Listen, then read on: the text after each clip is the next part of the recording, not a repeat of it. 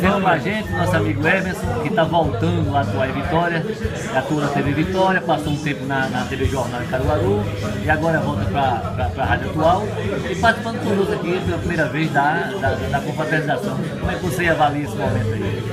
Está sendo muito bom, Pilar, rever os amigos, pessoas que já trabalharam comigo, pessoas que eu já admirava desde criança, pessoas que estão chegando novo aqui no mercado de Vitória, que também é muito promissor esse cenário de comunicação aqui da cidade.